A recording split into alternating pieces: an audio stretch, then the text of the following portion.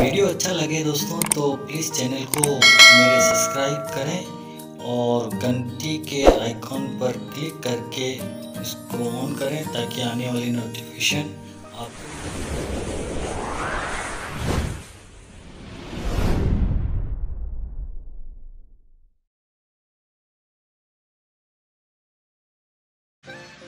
Hello दोस्तों, मैं हूँ ताहिर। ये आप देख रहे हैं मिस्तु बशी ऑल्टरनेटर जो होंडा कार का है, उसका रेगुलेटर है।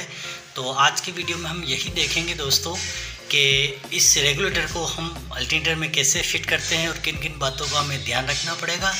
तो आप ये देखिए दोस्तों, इसमें चार पॉइंट होते हैं और ये रेगुलेटर है मिस्तु बशी ऑल्टरनेटर का। तो ये इसको देखो दोस्तों, ये पुराना, ये ख़राब हो चुका था तो हमने इसमें नया अंदर लगा दिया है। अब लगाने के बाद दोस्तों, ये ये इस तरह का अल्टरनेटर होता है दोस्तों, आप ये देखिए। ये यहाँ पर इस कटआउट के ये पॉइंट आ जाते हैं और प्लीज़ अगर मेरा वीडियो अच्छा लगे तो लाइक करें सब्सक्राइब करें और मेरे चैनल को ज़रूर सब्सक्राइब करें दोस्तों। तो ये होंडा का अल्टरनेटर है दोस्तों। जैसे कि आप देख रहे हैं वीडियो में। तो इसका रेगुलेटर लगाने में दोस्तों, ज़्यादा कुछ परेशानी वाली बात नहीं है। आराम से ये रेगुलेटर लग जाता है। तो ये देखिए दोस्तों, मैं आपको बता देता हूँ।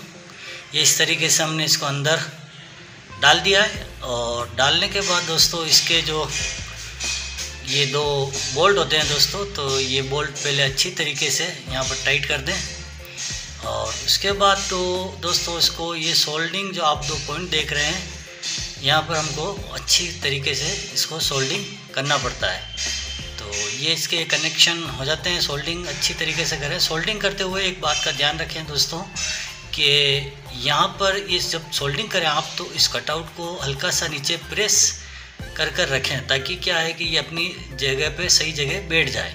नहीं तो दोस्तों क्या होता है कि फिर ये नीचे नहीं बैठता है और बाँका टेढ़ा आउट रह जाता है। तो आप इस बात का ध्यान रखें, जब भी ये सोल्डिंग करें तो पहले स्क्रू को बड़े अच्छे तरीके से टाइट करके, फिर सोल्डिंग करते हुए इसे नीचे की ओर धकेल, धकेलें, ताकि अपनी जगह पर आसानी से बैठ जाए। और शोल्डर आप अच्छा लगाएँ, लूज कनेक्शन इसमें ना रह सके दोस्तों।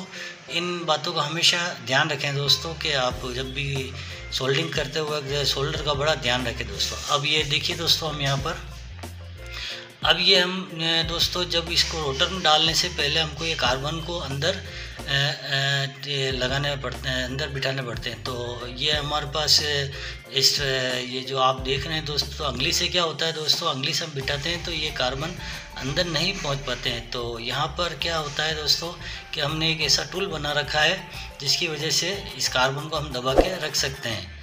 तो अगर मेरा वीडियो लगे अच्छा दोस्तों तो लाइक करना सब्सक्राइब करना प्लीज़ आप ये देखिए दोस्तों, इस तरीके से हमने एक ये पतले लोहे की तार से इसको पीछे से डालते हैं और फिर यहाँ से स्टूल की मदद से इस कार्बन को अंदर थोड़ा सा धकेलते हुए इस पीछे जो हम वो तार है दोस्तों, उस तार को यहाँ पर इस कार्बन में छेद होते हैं दोस्तों दोस्तों। तो इस टूल की मदद से दोस्तों हम कार्बन को अंदर दबाते हैं और उस इस लोहे के तार को अंदर उसमें डाल देते हैं और आसानी से ये अंदर लग जाती है, लग जाता है तार दोस्तों। तो इस प्रकार से देखा, देखिए दोस्तों, ये जिसे हमने किया है, आप भी इसी तरीके से इसको अंदर दबा लें दोस्तों, और ये इसका रोटर है दोस्तों। तो इस रोटर को बड़ा अच्छी तरीके से साफ़ कर लें, और यहाँ पर हो सके तो एमडी पेपर मार कर इस कटोरों को अंदर डाल दें।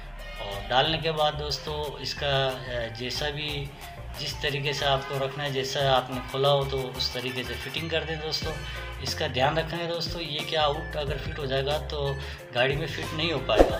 तो प्लीज़ मेरे चैनल को लाइक करें सब्सक्राइब करें दोस्तों। वीडियो अगर अच्छा लगता है आपको तो और नई नई जानकारी मैं अपने वीडियो पर लाता रहता हूँ दोस्तों तो आपको इसी तरीके के नए नए अल्टरनेटर कार के वगैरह, बड़ी गाड़ियों के सभी के बारे में मैं अल्टरनेटर सेल्फ की जानकारी देता हूँ दोस्तों। तो इस तरीके से इस अल्टरनेटर को आप फिट कर दें दोस्तों। और ऐसे घुमा के देख लें दोस्तों कि ये जाम तो नहीं है, फिर इसके स्टेट बराबर से आप टाइट कर लें। वैसे सब मैकेनिकल भाई अच्छी तरीके से जानते हैं दोस्तों। ये वीडियो बनाने का मतलब ये होता है दोस्तों कि जो नए लोग होते हैं या फिर जिसको कुछ जानकारी नहीं होती है इस टाइप की तो दोस्तों कुछ ये वीडियो देखने से कुछ तो जानकारी मिल जाती है दोस्तों के, ताकि हम, हमें कोई तकलीफ़ आती है तो हम वीडियो अगर ये ऐसे वीडियो देखते हैं तो दोस्तों हमें कुछ ना कुछ जानकारी आ जाती है। तो अब इसको दोस्तों हमने फिट कर दिया है, अब इसको हम आसानी से चेक कर लेते हैं मशीन पे।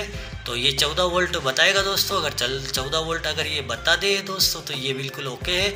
और हमें चौदह वोल्ट ही बताना चाहिए क्योंकि ये बारह वोल्ट का है दोस्तों तो बारह वोल्ट है तो ये काम करने पर चौदह वोल्ट बताता है दोस्तों। तो चौदह वोल्ट बताने पर ये ओके है दोस्तों। तो आप दोस्तों प्लीज़ मेरे चैनल को लाइक करें और सब्सक्राइब करें अगर वीडियो अच्छे लगते हैं। और मैं इस चैनल पर अच्छे अच्छे वीडियो इलेक्ट्रिक के बारे में ऑटो इलेक्ट्रिक के बारे में लाता रहता हूँ दोस्तों वायरिंग से रिलेटेड या फिर सेल्फ अल्टेंटर से रिलेटेड तो प्लीज़ आपका बहुत बहुत थैंक्स